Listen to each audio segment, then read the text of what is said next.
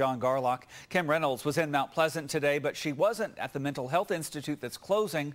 We wanted to know why, so we sent KTVO's Matt Vilke to ask her. He joins us live now. Matt. John, Lieutenant Governor Reynolds' visit to Mount Pleasant was part of her 99 county tour. That's something she does every year since she's been in office.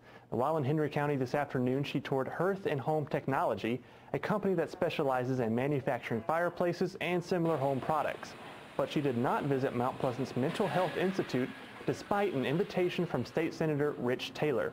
The Branstad Reynolds administration is seeking to close that facility. The lieutenant governor says her trip to Mount Pleasant was planned months in advance and didn't allow time to visit the facility.